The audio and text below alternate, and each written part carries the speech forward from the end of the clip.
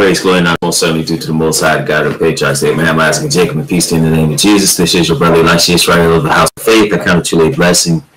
Um, the topic is I'm dealing with still false doctrine that you find even amongst Hebrew Israelites, and that is the idea that there was no virgin birth. Okay, no virgin birth. You hear that quite a bit, but in order to, in order, if you're going by what the Bible says, you can't. it's really a. This is one of the the most absurd doctrines in regard to if you're gonna read the Bible. I don't understand how you you know you have to you have to come with some other type of uh explanation. You can't read the bible and say there was no virgin birth. It says then joseph her husband being a just man and not willing to make her a public example was minded to put her away privately. Okay so he didn't want to make her into a public example because you read about what happens to a woman uh, with the woman who was caught in adultery in a public example she could be stoned Okay? So now, this is before they come together, right? So he, he said he didn't want to make a public example, so he's just going to do it, you know, out of the public eye. So it says in verse 20, but while he thought on these things, behold, the angel of the Lord appeared unto him in a dream, saying, Joseph, thou son of David, fear not to take unto thee Mary thy wife, for that which is conceived in her is of the Holy Ghost. So now what's conceived in her? Why would you be trying to put her away if she found a child if, if it was yours? Right? Right? You, this does not make sense. That's why I said this is one of the most absurd doctrines.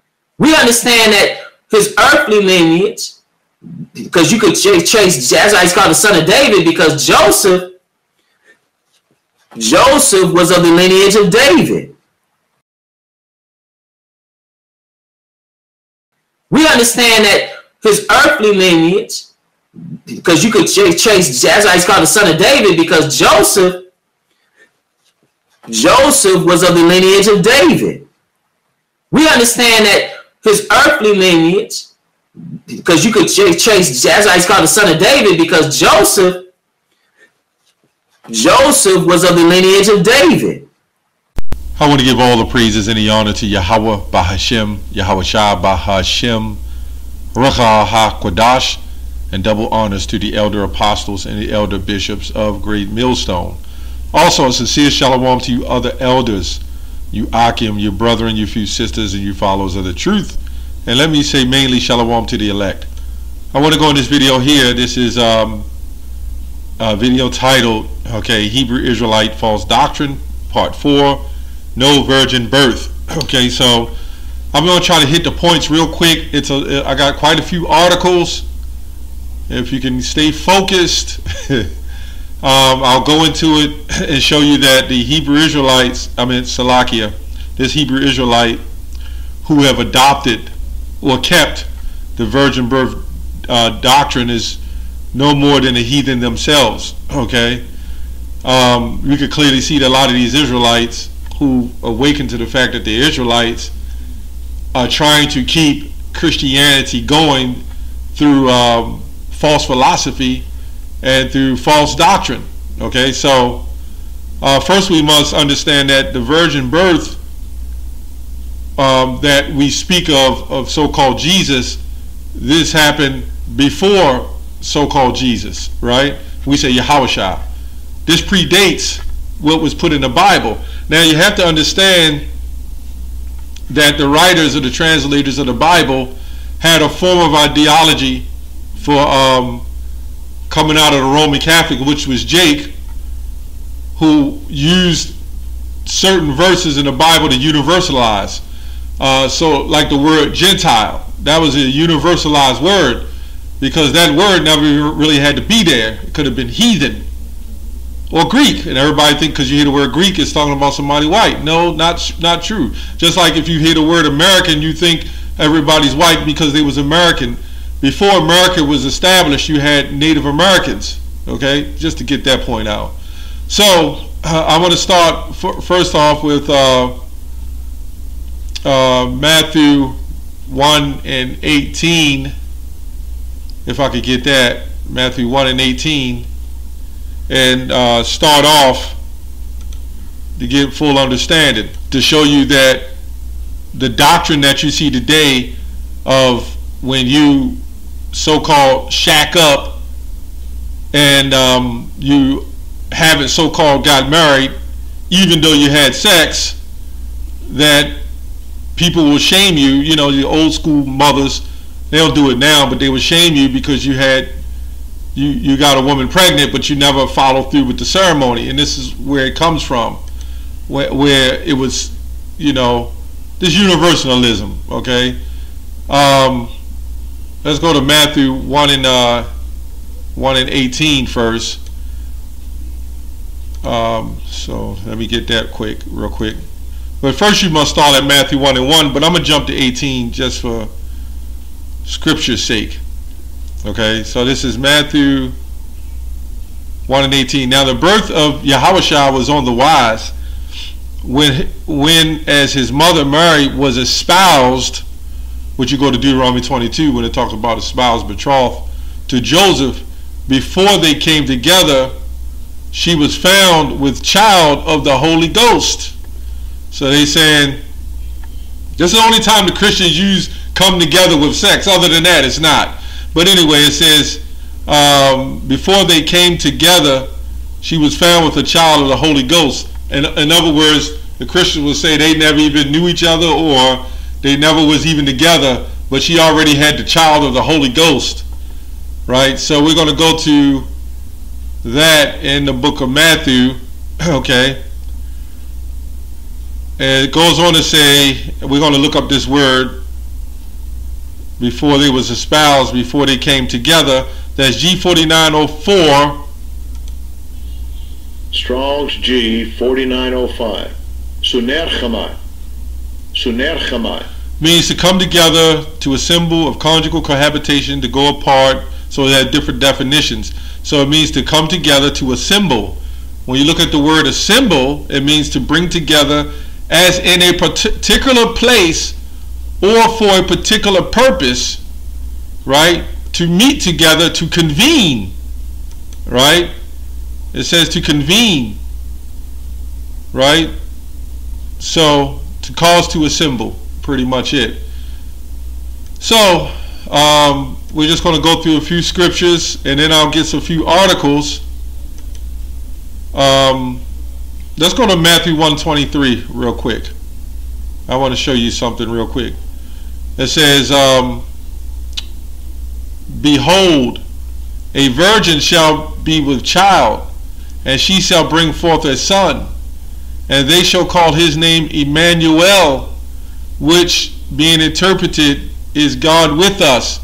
So now to go back before those translations, you got to go into the very old, um, uh, ancient type of uh, books to get the true understanding, or other translators that understood.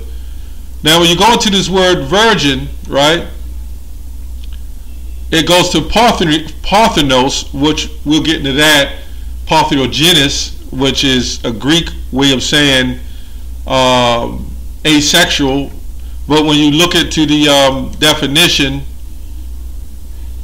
okay, I lost it. When you go to the definition of virgin, it says a virgin, marriageable maiden, a woman who has never had sex. This is why so many different definitions according to one definition because it has to apply in a proper context.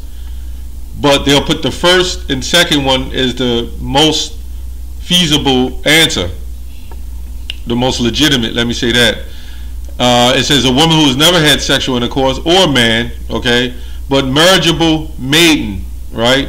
That's what this word means, Virgin Mary. She was a marriageable maiden. Okay, so she wasn't.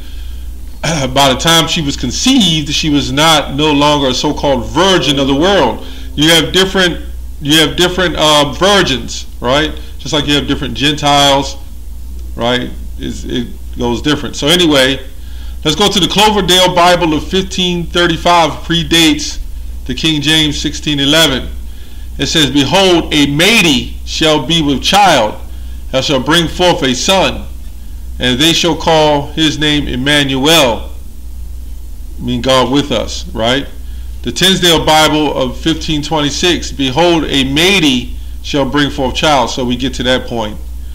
Now, in the Weymouth Testament, New Testament, brings it a little more uh, understandable. It says, Mark, the maiden will be with child and will give birth to a son. So that word shouldn't have been virgin technically, it should have been maiden. Okay? And a maiden is a young woman of marriageable age. That's all pretty much that is. Okay, let me go look this word up real quick. All it is is a young woman of marriageable age. It basically means just an unmarried girl or woman, okay, uh, or a young woman. That's all that pretty much means. Uh, okay. So she didn't go through with the um, uh, ceremony, and they would have wanted her to be, you know, have the ceremony or whatever. So let's go to more proof. Uh, first, let me get a couple of articles.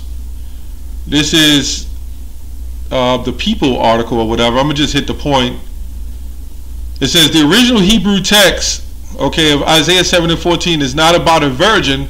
Rather, the Hebrew used to describe a woman in Isaiah 7 and 14, Amal, a word that means young woman.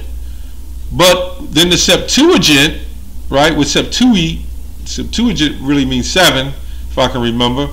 But the Septuagint, an early translation of the Hebrew Bible into Greek, took the Hebrew Amal and rendered it as the Greek Parthenos, which means virgin, right?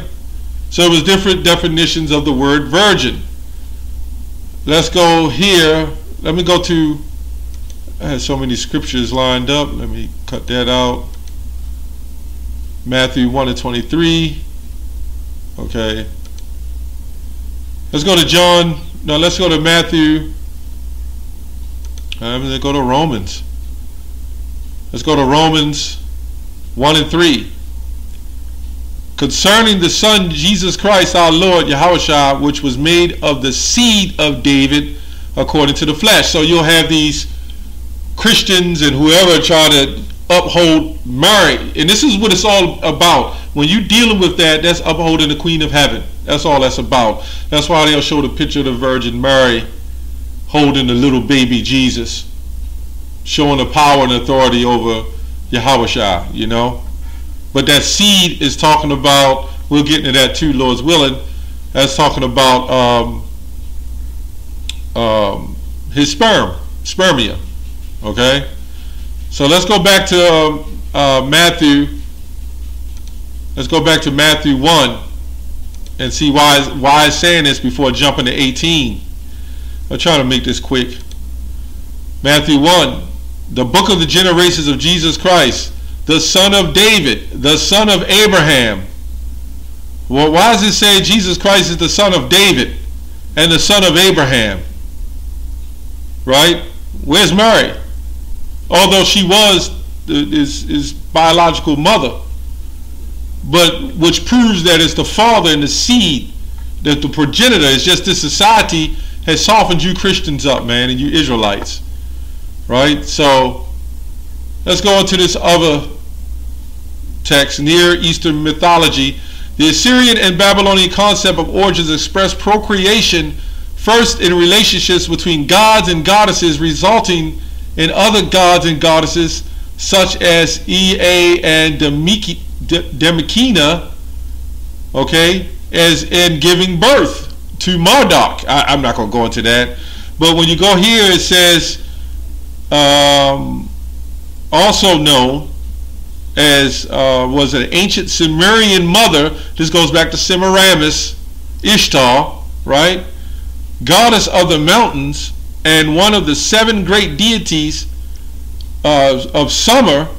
She is principally a fertility goddess, right? So whenever you deal with the fertility goddess of the sun, this is why they call word they spell the word sun. This is why you go to church on Sunday after the uh, uh, S-U-N, right?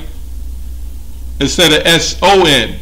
That's why those sons, um, when you look at the word sun, they they pretty much that pretty much derived off the actual sun. So this is why Semiramis said she had birth, she gave birth to uh, uh, Tammuz from the sun, and that's why they call this male a son after the sun. Okay, there's much history on that, but I ain't got time to go into that. I'm just trying to get this lesson cleared up. Okay. Um, let's go to this part. Um, it says Matthew 22. No, let's go to Acts real quick. Acts. Let me go to 3. Let me go to uh, 22. And when, when he had moved him and raised up unto them David to be the king, of whom all he gave testimony, and said, I found David the son of Jesse, a man after my own heart, which shall fulfill all my will. And of this man's seed have God, according to how according to the promise, raised up unto Israel a Savior, Jesus. Right? From this man's seed, Yahweh. Okay, so let's go back here. Let me read one more of these uh, little articles. A virgin roll call might include Romulus and Remus, right? Romulus and Remus, Rome, twin founders of Rome, before of the virgin Rhea Silva, in ancient Egypt, Ra, the sun, they spell it S-U-N, was born of the virgin mother Net. Horus was the son of the virgin Isis. The Phrygo Roman god Attis was born of a virgin Nana on December 25th. Now we all know December 25th, that was a, a month that they put in later. You had November, you had December. December, November, December came in later because all the uh, uh, the months was named after these gods, like uh, um, like uh, June, Juno, Jupiter, Julius Caesar, August, Augustus Caesar. You get the point. So you had that was the winter, December twenty fourth, I think the twenty first or the twenty fifth is the uh, the winter solstice when the sun reaches its peak, so to speak, where it's brightest. So this is when they decided to put uh, uh, Semiramis, Shiva, and all these other gods, Ishtar, on these uh, solstices, right? So then they decide through this um, universalism, through the uh, through these ideologies and practice, that on December 25th, wait a minute, the Son of uh, Son of God, Jesus, why not put him on December 25th, right? And this is why they say he was born on December 25th. Same deal. This is how you know this is all false. It resonates because he went on to be killed and was resurrected. Right? Same thing. In ancient Greece, Dionysus was the son either of the virgin Semele or the virgin uh. Persephone was also a virgin mother of Jason, and Plato's mother, uh, was a virgin. So you get the point. So let's go on to, um, I'm going to try to get this last one. Uh, Mark 22, Matthew 22 and 41. While the Pharisees were gathered together, Jesus asked them, Yahushua asked them, saying, What ye think of Christ? Now, I believe there was a, a story where in the scriptures where he did the same thing with Peter, and that's how Peter was raised, if, if I'm not mistaken he asked them, he kept asking that question because they all knew that well, he was the son of David. But then I believe Peter said, "Well, you're the son of the Most High," and he said, "Ah, that's who. Uh, that's my point, right?" It says, while the Pharisees was gathered together, Jesus, Yahweh asked them, saying, What think ye of Christ? Whose son is he? They say unto him, The son of David. He saith to them, How then doth David in the spirit call him Lord, saying, The Lord said unto my Lord, Sit on thy right hand till I make thine enemies thy footstool, which you can read that also in the book of Psalms. Okay, so and and if David then call him Lord, how is he his son? So if David ultimately called his son Solomon Lord, then how can he be his Lord? Because how can a father call a son Lord? Because the father is normally the leader. this proves that this is uh, definitely a def, uh, uh, thing of reincarnation. That Solomon had to be the one you call Jesus, which makes sense, Yahweh right? And he would have to call him Lord because Yahweh is over David, right? And no man was able to answer him a word, neither does any man from that day forth ask any more questions. Hope this lesson was edifying. That's all I have on that. Shalom.